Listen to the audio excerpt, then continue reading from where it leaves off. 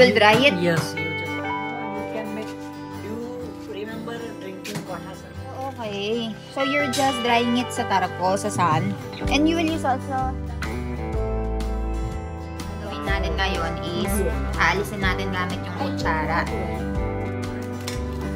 So, gawin ko muna to guys, and I'll update you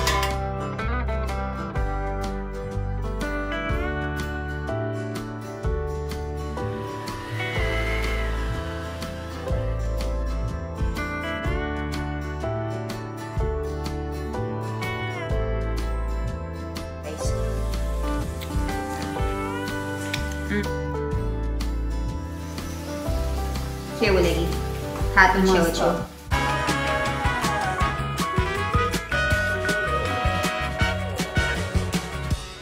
Good morning everyone! Another day, another vlog. And nakakagising na kami ngayon and nakarating na rin si Sonal Masi dito sa bahay. Sonal Masi! Yeah. Kemcho! Yeah. So, nasugat si Sonal Masi, guys. Oh. Ikiwirite wage tame.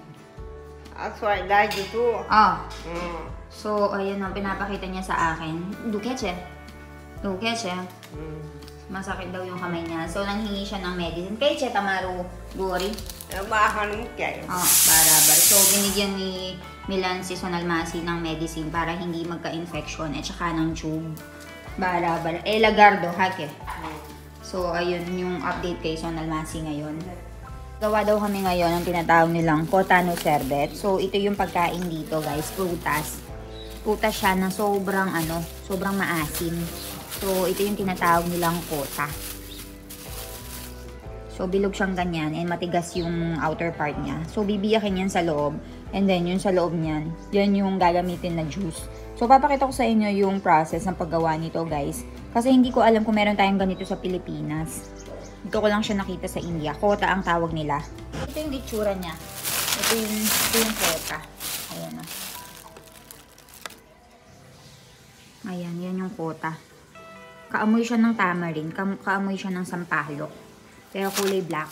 Tapos nilalagyan nila yan ng iba't ibang food coloring. So, papakita ko sa inyo kung paano gagawin yung mommy. Kasi first time ko din ma makita kung paano ba gagawin yung sherbet na ito or juice na ito.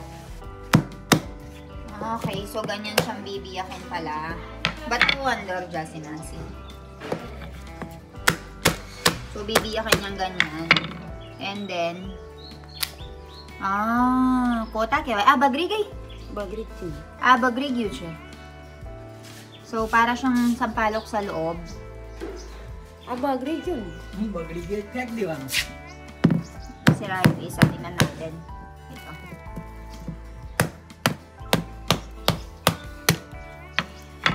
It's like baseball, no? What do you call it? Ice apple. Oo. You call it ice apple. Hmm. Ah, that's how it looks inside. Okay. So, ganyan siya. Milan, how does it taste, this one? Nay, nay haro.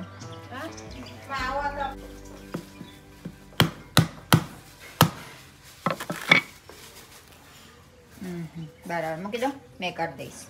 Makita, makita? Under. Milan.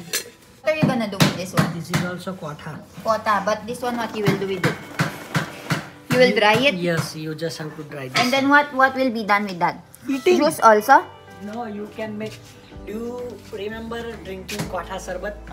I don't. This is my first time to ano, to try it. It's flavor.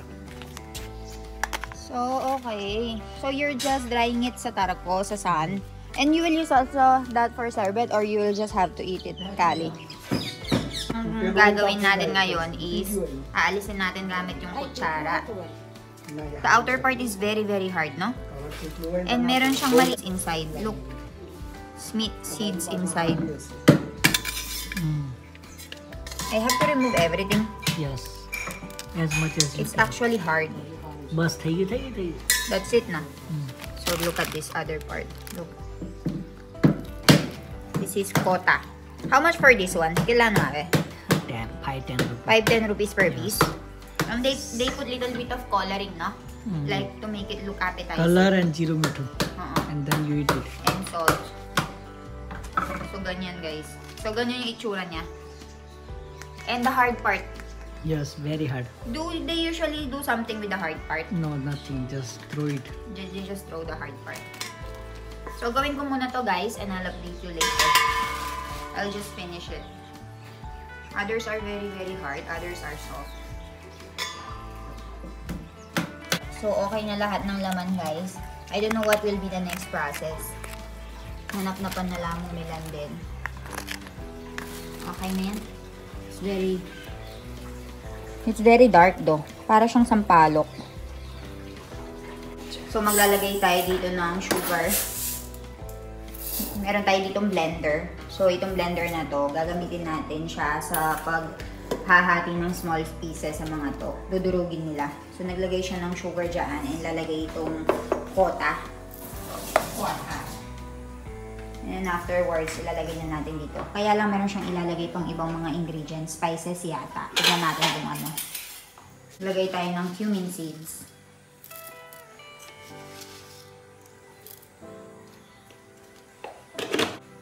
And after that, i-blender na natin.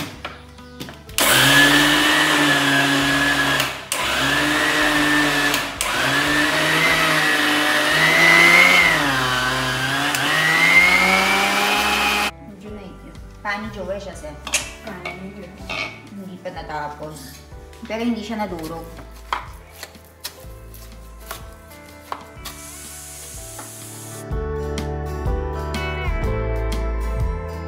Magiging itsura niya guys, pero kulang pa daw. So, ganyan dapat daw yung magiging itsura niya. Kaya lagi. Tapo man. Tikman natin. Tikman natin guys. Mmm, haru siya. Cannili detle, tato na eh. Because of the sugar, hindi siya maasim. Hindi mm. Pala, hugeway mami. Na, tama rin jewa. Hugeway. Kaga kagaya siya ng tamarin juice. Same like that. Ayan, ganyan siya. Gagawin na natin yung isang batch pa. And then, balitaan ko kayo mamaya. Color. Okay. So, dito naman, lalagay si mami ng pangkulay. Lal, chelal. Mm -mm. Para mas maging appetizing tignan. Plastic lal.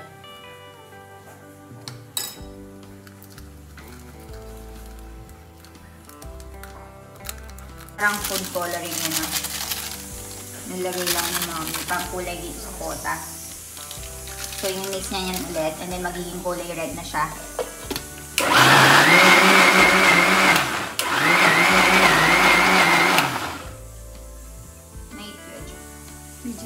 ocho jowas. Madad jowas.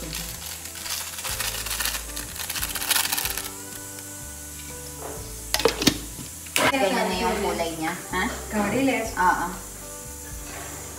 Tingnan natin to dito para makagawa na tayo ng second batch. Para to busy guys. Oo. Ah, so kung napapansin nyo guys, kulay red na red ito. And itong mga inano ko, tingnan yung kulay ko, naging red na rin, oh.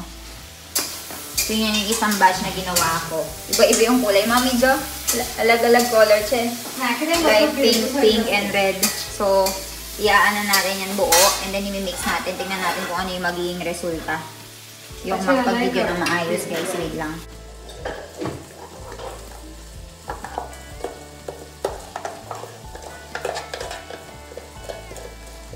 Lang natin ng maayos. So, iba-iba yung kulay niya kasi kanina, nanghingi kami sa kapitbahay. Naabusan kami ng kulay red na full food coloring. So, yung last batch, binigyan namin ng, ali, mami adjut chejo. Yung last batch, binigyan namin ng napakaraming food coloring. So, sabi ni mami, okay lang daw yun. Ayan, imimix na lang natin siya all together.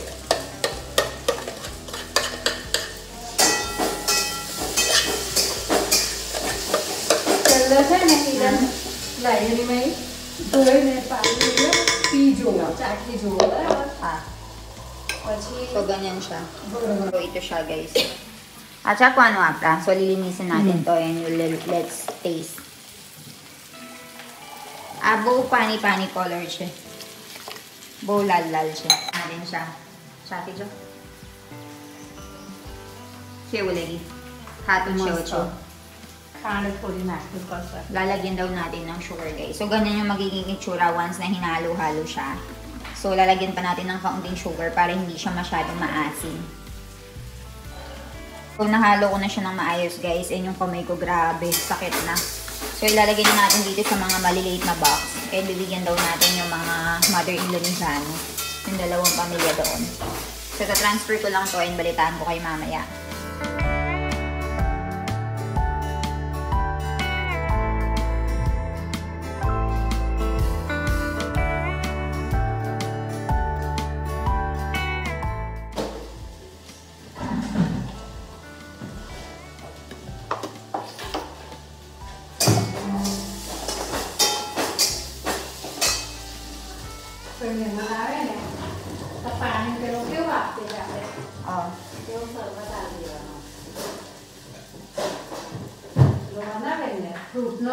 એવી રીતે જીરું મીઠ જીરું મીઠું નાખે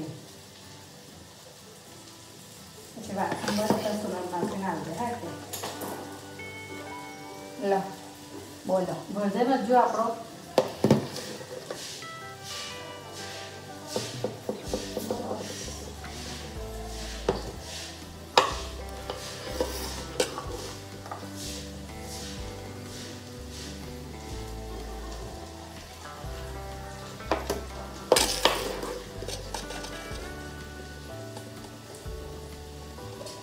So, ito na yung mga nagawa natin guys. So, i-distrip na natin ito sa iba't ibang mga bahay. Ayan. Tatlo, apat. Meron pang maliit. Pero ito yung sa amin. So, ito yung mga sinusuot nila sa mga bata. Ay! Why duche? so, binigay ng mga, ano, binigay ng mga kamag-anak nila. Buong mas na mas na siya. Kali chokri no mate. Gift. Dami at labadacha, jigalibira. Chokri no gift. So, dito sa India, lagi silang nagbibigay ng mga, ano, sa mga bagong silang nasanggol. So, usually, mga sinusuot sa paa, mga bracelet, ito mga necklace, mula sa mga mother-in-law, mga brother-in-law, ganon sa mga mga father, ganun. So, meron din silang silver na ganito. See? Labada. Bubado siya. Tinatawag ako kanina dun sa bahay ng kapitbahay namin, which is sa bahay na Jico Didi. And then, pinakita nila sa amin yung iba't ibang mga regalo doon sa mga iba't ibang regalo dun sa ano, sanggol na anak nila. And alam nyo ba guys, dito sa India, hindi ko alam kung sa lahat ng parte ng India, pero dito sa parte ng Gujarat, sa lugar namin, bata pa lamang talaga, sobrang dami na nilang mga gold. So, yung bata is halos 3 months pa lang yata. And nakita ko yung mga golds niya, merong iba't ibang mga earrings, may necklace, merong nilalagay doon sa paa, yung parang ano, anklet, ganon. So, usually silver yung binibigay sa mga bata.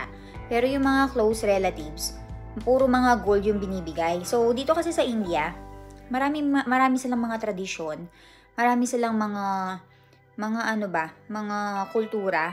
Like kapag, hindi ko sure kung 7 days or 6 days, pero parang merong ganun, mayroong naming ceremony, and hindi, hindi yung mga parents yung magbibigay ng pangalan sa anak. So, isa yun sa mga trivia ko sa inyo. So, dito sa lugar namin, meron silang tinatawag na naming ceremony kung saan yung foy or yung ano, yung tita, siya yung magbibigay ng pangalan dun sa bata. Pero syempre, iya, mag-a-agree naman siguro yung mga parents, 'di ba? Like yung tita, siya yung unang magsasabi ng pangalan ng bata. So, pagkapanganak ng bata, wala pa siyang pangalan. So, after, ay, hindi ko sure kung ilang days, pero magkakaroon ng naming ceremony. And sa naming ceremony na yon sasabihin nung tita, so, Foy, para sa amin, so yung magiging anak ko, yung Foy niya is si Jano. So, si Jano yung unang magsasalita ng pangalan ng anak ko. So, yung pangalan ni Milan, yung unang nagsalita, is si Mita Foy and Dipika Foy. So, dalawa kasi yung Foy niya. So, ganun yung sistema nila dito, guys. And sa mga ceremony na yon, ang kadalasan na napapansin ko na binibigay nilang regalo talaga is it's either silver or gold. And then, yung mga maliliitan na lang na regalo is yung mga damit. Pero yung mga pangmalakasang regalo talaga is mga ginto tsaka mga alahas. So, yung mga tao talaga dito, very, very crazy, crazy sila pagdating sa gold. And, bata pa lang, sobrang dami, dami, dami na nilang gold na sinusuot sa mga katawan nila. And tuwing merong mga okasyon, magsisilabasan lahat ng mga golds na binigay ng mga uh, aunties, uncles, mga lolo, mga father and mother nila. So, dun sila pinapasuot. So, ayun, yun lang isa sa mga trivia ko. And siguro kung kaming magkakaanak ni Milan, maganda ding investment yung gold. So, bibil, siguro bibilhan din sila. Bibilhan din ng mga kamag-anak namin ng golds yung yung magiging anak namin. Kasi ngayon pa lang si mother-in-law, sobrang dami na niyang plano para sa magiging anak namin. Kahit hindi pa talaga siya lumabas. So, magiging ano din, magiging sagana talaga sa gold yung anak mo, lalo na kung Indiano yung napangasawa mo. Kasi parte na talaga nila ng kultura yung pagbili ng golds. Kaya hindi mo rin may iwasan kung bakit napakadaming mga showrooms dito, guys. Sobrang dami nila mga design and nagagandahan talaga. Kaya kung magbabakasyon kayo dito sa India, uh, is, piliin, piliin nyo na mag-save ng pera and then bili kayo ng gold dito sa India. Kasi sobrang gaganda ng quality ng mga golds. Merong 18, 22, 24. Hindi ko sure kung merong 18 kasi mababang klase yung 18 para sa kanila. So, it's either 22 carats or 24 karat gold yung mga binibili nila and also platinum. So, medyo mahal yung platinum. Pero, binibili pa rin talaga nila kasi para sa kanila, it's a form of investment. So, ayun guys. I hope meron kayong natutunan sa video na ito. And kung meron kayong mga certain questions, tanong nyo lang sa baba and sasagutin natin yan. We'll see you tomorrow.